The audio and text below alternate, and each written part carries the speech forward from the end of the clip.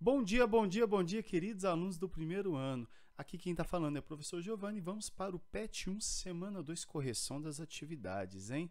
Mas antes de nós chegarmos lá, o tema é núcleo celular. Eu te peço, inscreva-se no nosso canal. Se você já é inscrito, acione o sininho. Se você já fez ambos, não esqueça, deixe seu like no nosso vídeo. O tema núcleo celular e vamos para a correção da atividade para a gente não perder tempo. Considere uma célula diploide que possui 10 moléculas de DNA em seu núcleo para responder às questões a seguir. Letra A. Quantos cromossomos tem essa célula? 10 cromossomos. São 10 moléculas de DNA. Se essa célula passar por mitose, quantas moléculas de DNA terão as células filhas originadas? 10 moléculas. Tá? As filhas originadas.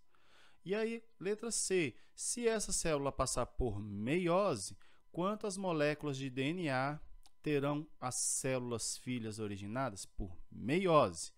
5 moléculas. Letra D. No final da intérfase, quantos cromossomos a célula mãe possui? 10. Como assim, professor? Mas não duplicou o número de cromossomos?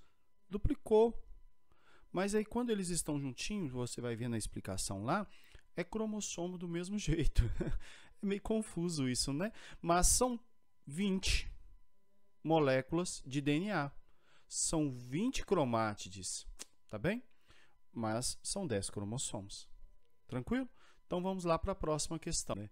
Então, abaixo está representado o núcleo de uma célula. Indique a que estrutura corresponde cada número da imagem e dê sua função. Qual imagem, professor? Está lá no PET essa imagem aí, tá? É o núcleo lá e suas partes numeradas de 1 a 5, tá bom? Então vamos ver lá, a parte 1, no caso aí já, tá, já, já estamos vendo, material genético portador das informações que determinam as características hereditárias e funcionamento dos organismos. Peguei do próprio PET, tá bem?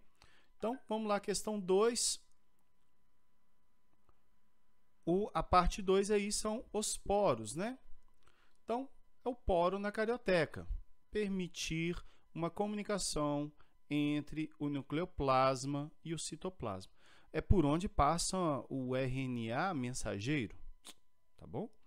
Então, três, todas as moléculas de RNA né, que saem do núcleo. Carioteca, separa o citoplasma do conteúdo do núcleo. Separa o citoplasma do conteúdo do núcleo. A parte 4, nós vamos ver aí, é o nucleoplasma. Fácil, né? Solução aquosa que contém proteínas e outras substâncias necessárias para que o núcleo realize suas funções e a 5 nucleolo, não é? Qual é a função dele? Onde se formam os ribossomos. O RNA ribossômico é sintetizado, tá bem?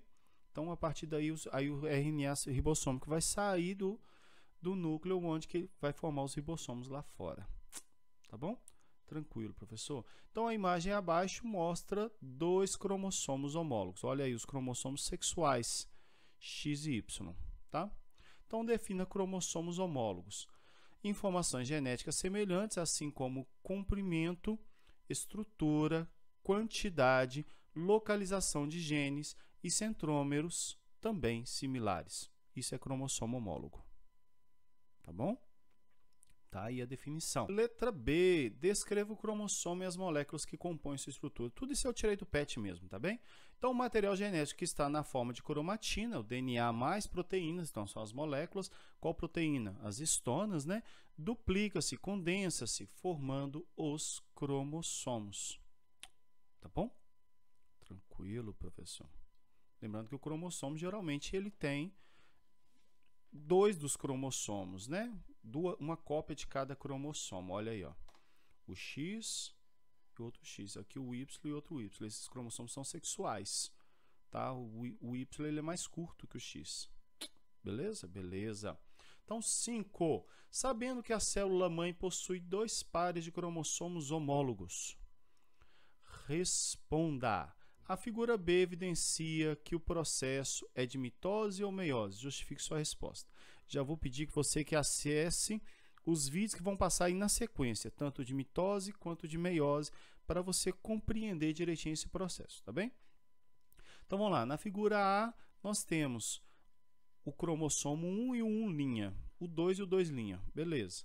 Aí agora na, na figura B, ao invés de ir 1, ir 1, 1 linha e 1 normal, e o 2 e o 2 linha normal para um lado e para o outro, que formaria duas células idênticas, não, está formando, puxando um, um inteiro para lá e o 2' inteiro para lá, sendo que para cá está vindo um, um linha inteiro e o 2' linha. O que, que isso significa? Meiose, tá? Pois na anáfase, por isso que eu falei para ver o vídeo, está ocorrendo a migração dos cromossomos duplicados. Quer dizer, eles estão indo juntos, indo um para cada polo. Na mitose, as cromátides se separariam, quer dizer, os cromossomos homólogos se separariam, não é? indo quatro homólogos para um lado e quatro homólogos para o outro, indo uma cópia de cada para cada lado. Porque aí, essa célula que vai formar aqui, eu vou, eu vou pegar a caneta aqui e vou te mostrar como é que ficaria. Olha aqui a célula que vai formar. Ela tem só o 1 e só o 2.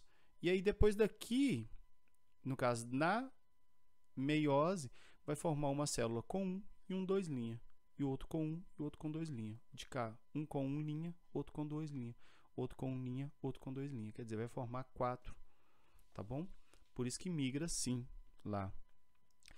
Entenderam a diferença? Vamos ver a diferença aqui. Então, a anáfase aí da meiose. Olha aí, ó foi inteiro, olha lá. Inclusive aqui está até mostrando o crossing over, lá no vídeo está explicando. Então está passando aí, separou um inteirinho, os dois juntinhos para um lado. Ah, professor, mas não é assim na, meio, na, na mitose, não? Olha a mitose aí, ó. Vamos ver. Olha lá, foi a metadezinha. Não foi o, o duplicado. Vai a metadezinha de cada um para cada lado. Tá bom? No caso, aquela lá, inclusive, se diga de passagem, é a anáfase 1. Tá? Vou colocar um aqui para você não reclamar depois. Anáfase 1, tá bom? Então, a gente fica por aqui. Não esqueça de ver os vídeos. Beijo para quem é de beijo, abraço para quem é de abraço. Tchau, até a próxima. Fique com Deus.